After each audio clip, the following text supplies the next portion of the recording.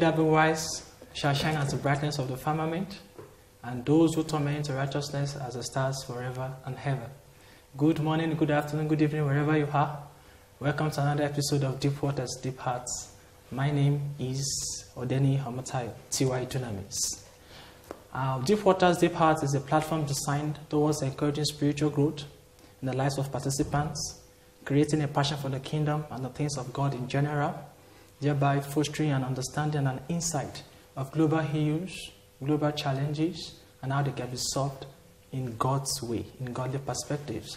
So we have three major segments in Deep Waters. We have the quiz competition, we have um, the Bible presentation, and we have a discussion forum. So on this episode, we're going to be having a discussion forum on a very interesting topic, which um, is being titled "The Missing Day" in the book of Joshua, chapter 10, precisely. Um, before I introduce my um, speakers, our speakers um, for today's episode, I would just like to go through a brief introduction of this very topic. In Joshua chapter 10, it was reported that there was um, a little town, Gibeon. They, I mean, they were friends. They became friends with Joshua, the people of Israel. So there were these five Amorite kings. I mean, out of envy, out of jealousy, they decided to fight Gibeon. So the men of Gibeon had to call for Joshua. Say, Joshua, come and help us. This and that. And Joshua had to come, travel from Gilgal, where they camped, to Gibeon overnight. And he made a declaration there where the scientists say it's not possible. Atheists said it's not possible. And even in the hearts of believers, there had been different kinds of questions that have emerged. Is it really possible that sun will stand still and moon will stand still? And um, it's, it's against um, science. But today we are going to be looking at what are those things that could have likely happened. Look at the command of Joshua, the nature of the command. Was he trying to say it because he wanted to prove the power of God to the people? Was he just trying to say it because he wanted a relief from the scorching heat of the sun? Everything is going to be discussed here in the next few minutes. So I would like to introduce our speakers for today. This is Gaius Eze from Pretoria University, um, UNISA students. Thank you very much. You're welcome, sir. Thank you. And we have Pastor Benjamin Hector Klope from um, Roodepoort. You're welcome, sir. Thank you. And we have Aindeoluwa Damilari. You're also welcome, sir. He's also a student of UNISA. So, sir, we have an interesting topic. Mm. I mean, before us today. Yeah, and um, yeah. I know we have really gone through this very chapter. But if you have our Bibles with us, let us open to Joshua chapter 10. I think we're already in Joshua chapter 10. And um, verse 12. On the day the Lord gave the Israelites victory over the Amorites, I'm reading from the NLT version. On the day the Lord gave the Israelites victory over the Amorites, Jasher prayed to the Lord in front of all the people of Israel. He said, Let the sun stand still over Gibeon, and the moon over the valley of Ajalon. Verse 13. So the sun stood still, and the moon stayed in place until the nation of Israel had defeated its enemies. In this event, not recorded in the book of Joshua, the sun stayed in the middle of the sky, and it did not set as on a normal day. Then, verse 14, the last verse. There has never been a day like this, one before or since, when the Lord answered such a prayer. Surely the Lord fought for Israel that day. I want to start the first discussion now is this. Um, what brought about this, um, this declaration? Is it a declaration? Is it a command? Is it a prayer? We're going to establish that later. But what brought about this? How did he ever think that sun will stand still, moon will stand still? What was he thinking? Uh, let me start from you guys. Well, it's, it, it, it really shows um, the understanding of who Joshua have come to know his God.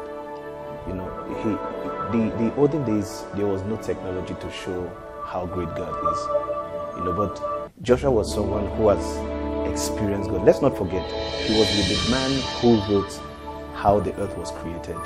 That is Moses. I mean, Moses was able to give us uh, eternity past. Did you get it? When I say eternity past, the creation, Genesis, Exodus, he was right there with, with, uh, with Moses. So I think Moses was able to rub off on him who and how big God is. He didn't need science. You get it? So now when it, it, it's there, there was a desperate measure. He needed something needed to be done. You know, this is victory that needs to be won. But now the sun is going down. We are going to be victims of this. I, I, I don't know, but he, he just felt that, hey, this God is that big. And if that this God is that big, remember in that same book, he said, God, God created us like him. So he knew he was a small God. And the sun is a creature. Did you get it? And he had power over the creature. So he knew he understands his his his uh, his strength over the creations. Okay. Um. Uh, if I would get you right now, you're trying to say that he made that declaration because he knew who he knew who he is. He, he knew. Fine. But what what led to that? Because you no, know, some commentators said probably he made that uh, declaration because he was trying to I mean, get a relief from the scorching heat of the sun. Mm. because mm. he they traveled from Gilgal yeah. to Gibeon, yeah. and um, from Bible history, Bible history showed that from Gilgal to Gibeon is 20 miles, mm. and yeah. it's 20, it's 17 hours. And they climbed up. They climbed and they climbed up. up. Yeah, they climbed up. It's, yeah. it was a tiring journey. That means, and they, they moved all night. Yeah, yeah, throughout the night. So, why did he make that declaration, sir? I believe that because uh, if you look at verse 8, um, already God promised Joshua that he must not fear, uh, for God mm. has delivered he, them unto him uh, into his hand. And um, when you go and God has commanded you, whatever you do that is in the will of God is blessed. It's blessed. So he was speaking and uh, he needed time and uh, it goes to show that God, uh, when we are going with Him, even when we were not fast enough, He is able to make up time.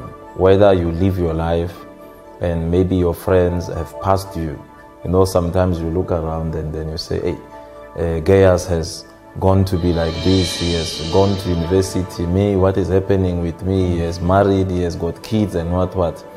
But uh, it goes to show that uh, God really is not limited by time. Mm. Yeah, uh, he is eternal. He is from eternal, from before time to after time. And uh, he was able to actually manipulate the parameter. Remember that it's God who instituted in the covenant of Noah uh, sun and the rising of the sun and the going down of the sun.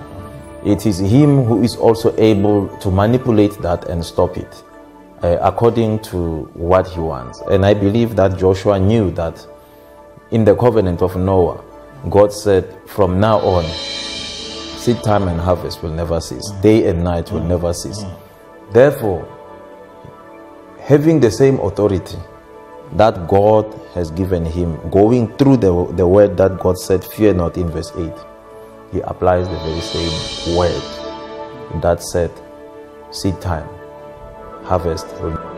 Well, well, sir, in that verse 8, if you look at it, um, it says, And the Lord said unto Joshua, Fear not. Now, he said, For I have delivered. It is that I am going to deliver. Now, if he says, I am, I, I have delivered, now I still have the, the, the, I still stand, you know, to say that we serve a God who is not just jealous, but he shows off. You know, when I say shows off, he brags about himself. I still believe that even if, say, even if the sun had gone, it was night, yeah. they were still going to conquer these guys they were still going to conquer. But because we have a God that brags, you, you know, He's God. So He wants to show off that, say, I mean, I, I made the universe and I can control it. I, I mean, but go, going by uh, the description we have uh, in verse 11, mm. which says, As they fled before Israel, while they were going down ascent of Bethel, the mm. Lord threw large stones from heaven mm-hmm. on them as far as Azekah. Mm-hmm. That means the, uh, the Lord didn't just throw these guys in panic. He threw hailstones. Hailstones. And with hailstones comes, you know, your sandstorms. Mm. People won't be able to see what is right in front of them. I think that is why Joshua had to make this command and say, okay, you know, in those days when they go to war, they don't go to war and take spoils. They go to war, they destroy everything. everything yeah. So for these guys not to escape, Joshua needed light. He needed That is land. why. Yeah. Yeah. So you are trying to say that it was because he never wanted them to escape, Yes. not because he was thinking if it gets dark, those people could actually retaliate. No, They were on the No. run already. Yeah. They were smoothing from. No, but but let, let's look at let's look at something from from eleven. That's in eleven. Yeah. Is it not said that? I mean, if the hailstone fell, then I to me I felt the, the battle was already won already because it says. Let, us look at it. It says, um, um, verse, verse- said, and the Lord cast down great stones, and it and from uh, great stones from heaven upon them unto Azekah, and they died. You see. He said they were more which died with hailstones than they which with children of Israel have slain. So the people that were left to be killed with the sword were very few. They were very few. So I think the battle was already won. And the now is, if okay, if we, if we continue from verse twelve, Yeah. See, on the day the Lord gave the Israelites victory over the Amorites, Yeah. this scripture is trying to like, it's like, uh, we really don't know when Yeah. he made that declaration. Yeah. Was it before, during? No, not not now, not after now. Is it before or during? Or during the during the battle. Yeah, I, I believe that also we, we must just uh, be aware that the Bible is not written strictly in chronological order. Yes, sir. That this is the timeline how it happened. So the storyline may go like this, but the timeline may not actually be. But the Bible still mentions clearly that it was on that day, meaning that if it was on that day, that day was longer than usual. Uh, how long it, it, it it was, uh, you see that uh, the Bible mentioned that it was twice as long, the whole day. The sun stood still. So, most probably, even for God to finish His work and for Israel to see, because most of the time you'll, men- you'll see in the Bible, God, when He fights for His people, He says, You will stand and you will watch. Yeah, so Remember- they needed the daylight to see this thing. And watch. yeah. But Watch. shouldn't we consider the fact that you know uh, statements like this could be of a poetic nuance, whereby you are reading a story and say uh, the sun stands still. Yeah.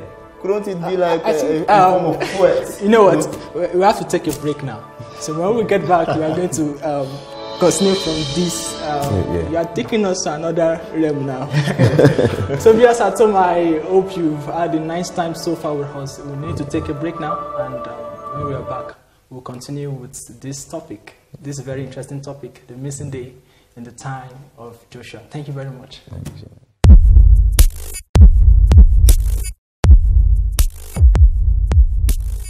The soldier prayed what is perhaps the most bizarre prayer in all of the Bible. The soldier was Joshua.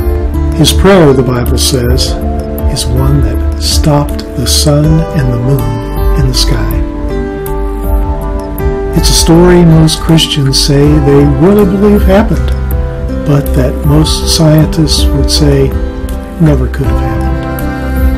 There's a theory, however, that suggests the story could very well have happened exactly as it's described in the Bible. According to the theory, our problem is that we haven't been reading the whole story. We've been missing some of the important background. Here's what the Bible says happened. The Jews were conquering what is now Israel, taking back their homeland from settlers who had moved in while the Jews were enslaved in Egypt. They were camped in the Jordan River Valley when they got a messenger. Welcome back, viewers at home. Um, it is still Deep Waters, Deep Hearts. We're looking at an amazing topic um, on this episode the missing time, or the missing day rather, in the time of Joshua. So, so far so good, we've been on Joshua chapter 10, and um, our speakers have been doing good justice to that. So, we'd like to continue now. If you're just joining us, get your sheet of paper and your pen, and you have to learn as we discuss. So, sir, before the break, you made mention of something. Yeah, I, I said uh, uh, we could also look at it from uh, English language, whereby you are reading a piece of literature, and then you see, you see, you know, all these people they, they make use of their surroundings in such a way that you see the sky is so beautiful, it's great, the stars are aligned, so to to paint to paint a more graphic uh, picture of the story they're telling. Could it be that uh, at this particular uh, verse exactly? Could it be that it could be a, a form of a poetic nuance there? There, oh ye son, stay still while we, you know, slaughter the the armies. Okay, I, I think now this is going to take us to um, a scientific theory now. You understand? And I want us to link both together. Now, Yeah. um, if we have a good knowledge of geography, Yeah. we know that the sun does not move. The earth rotates on its own axis, and that gives us day and night. That's true. Then revolves around the sun. So as the earth is rotating on its own axis, it's revolving around the sun. So there's this um, thing that is common in the scriptures, this um, language of um, observation, kind of language of appearance. From this plane, this very plane uh, where you, where we are on earth, we believe that the sun rises from the east and sets where on the west. So to a lame man, we could just say, okay, fine, the sun moves. So I was thinking that was how Joshua was understanding it. Then there was nothing like uh, scientific knowledge, I mean, in quote. Maybe that was what he just, he wanted something to happen. He wanted the day to be prolonged. Do you understand? So he just thought, okay, the sun moves, see it, since it rises and sets. And actually, it's like that. You get so is it that um, um I, I want to ask now, linking both science and the poetic, which one is it likely to? Because there's really no um, evidence of um, Joshua being a poet.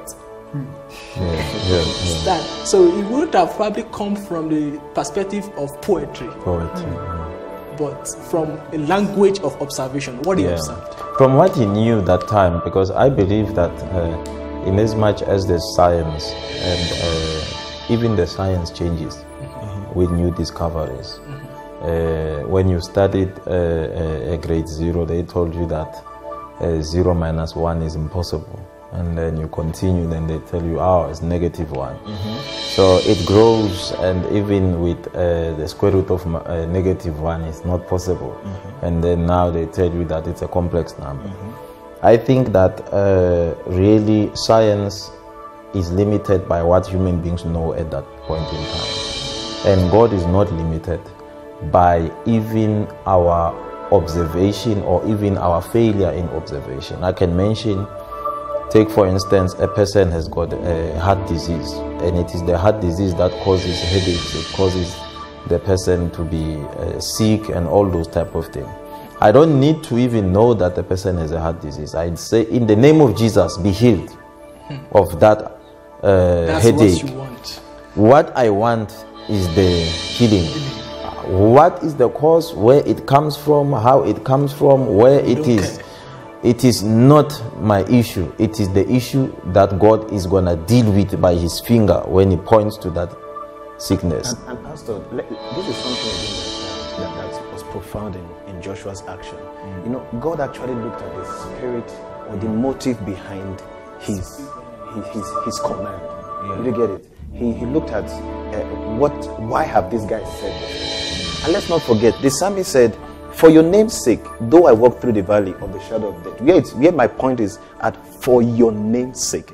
Now, you know, God seated there in heaven, and if He watches these guys being overcome by their enemies, who is going to be shamed? It's God.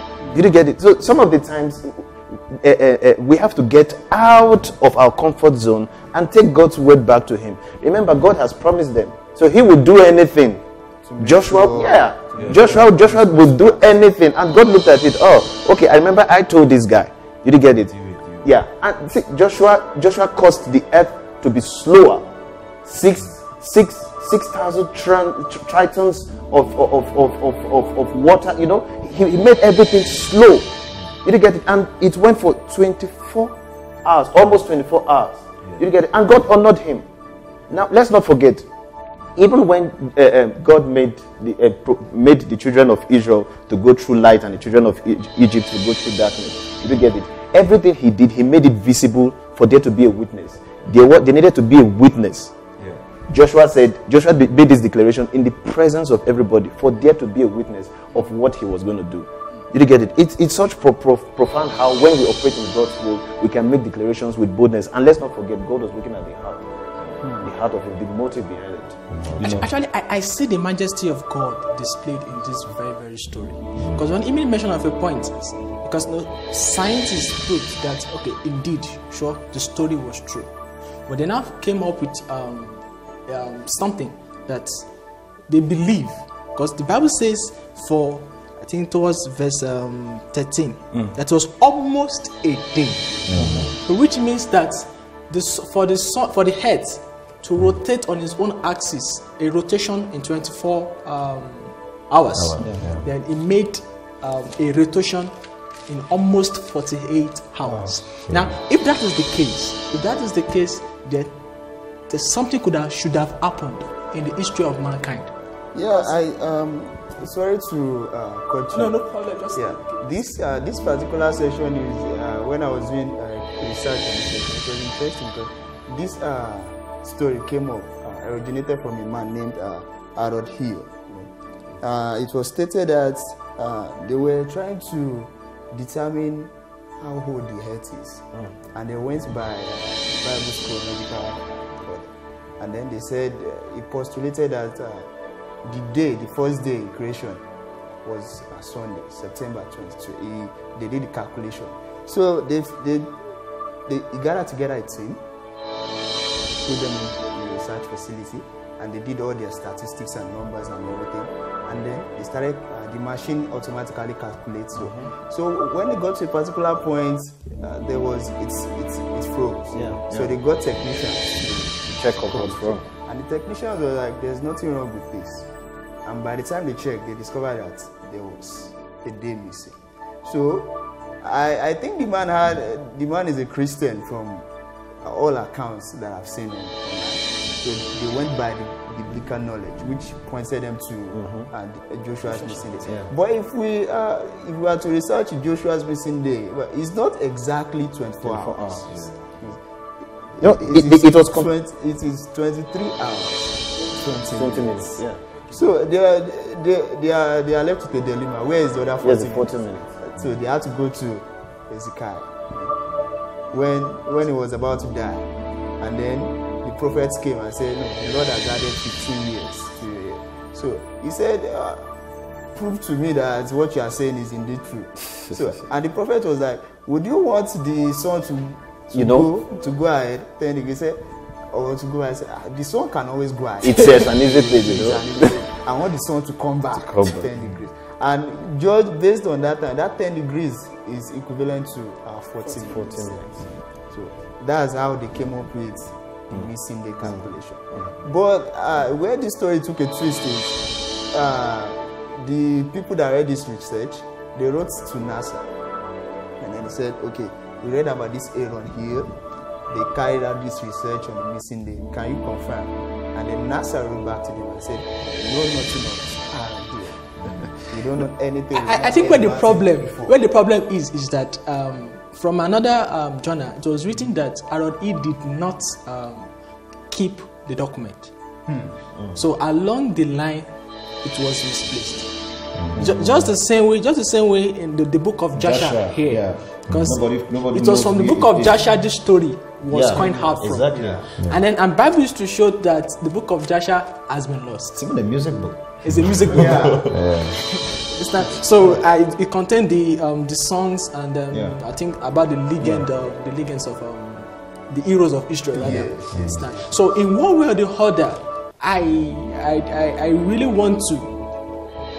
There's a, a kind of light, That needs to. That needs a to. light in this very story about the Harold Hill you, you talked about about it, because if we are to look at it even on a neutral level, it's nice.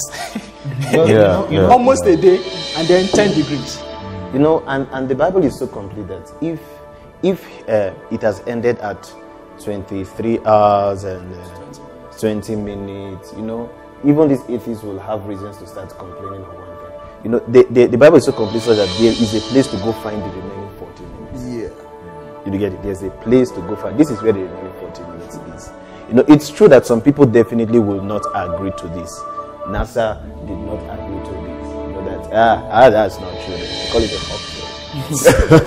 well, and then actually and then I, I'm, I'm looking at something many people do not really uh, believe this joshua chapter 10 but they believe that of hezekiah Yeah, second Kings. Yeah. uh, and, now that of hezekiah cannot come to pass cannot be possible without joshua You know, um, this point you mentioned now, I think uh, the problem people have believing this story is because lack of biblical, other biblical references. You get, you know, every story in the Bible has a reference some other places. In this, we, we, we actually don't have another reference to this Joshua story anywhere else in the Bible. But, but if you look, already the Bible tells us, is it not? In the book of Jasher. But now we can't find Jasher. yeah, Because Jasher is lost. Yeah, There are other books. There are other books apart from uh, uh, the books that are in the canon of the scriptures. Yeah, you even recall that even Apostle Paul, he quoted from, uh, though he didn't quote from the Apocrypha, he quoted even from a secular writer. Yes. Uh, so there are other books, and uh, I mean that actually even just speaks about how the canon of the scripture came about, so that the, the, the, the circulation of many scriptures was just too many. And uh, I think that But uh, uh, I'm sorry to cut you short, Pastor. But you know, in the book of Psalm 136, where uh, it was some numerous uh, works that the Lord did was greatly mentioned. Don't you feel this supposed to be there? Would have been mentioned No? over there. As because here it was clearly said there was no day anywhere else as this day. Or, or after. You, you, you, you, You know, you- you know, you know. Before we go, you know, before uh, um, whenever God does something, if you check, the, when especially when it's been said there is no day before or after. When the Lord destroyed the world with rain, it hasn't happened. Yeah, You get it? So some things are just a once of thing. he said it will never happen again. It will never happen again. I would rather destroy with fire. we really have to, to continue next week. Uh, it's been a wonderful time.